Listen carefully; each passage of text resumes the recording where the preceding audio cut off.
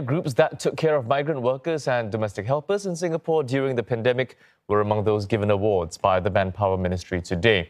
The first of its kind event recognized the 10 recipients, which included associations and NGOs.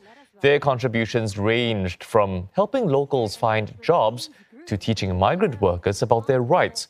One group, called HealthServe, gave counseling services to migrant workers in their native language. Another was the Dormitory Association of Singapore, which kept migrant workers up to date with changing health protocols. We had to activate a lot of uh, manpower because these workers were all kept within the dorm. You know, we had to distribute the foods, you know, for them. We had to clear up the refuse, you know, because of the increased uh, catering. Right? And then uh, every time they are tested, uh, we were the ones uh, helping with the conveyance, you know, uh, bringing them, them down, you know, for the testing and also you know sending them off to the hospitals where, where required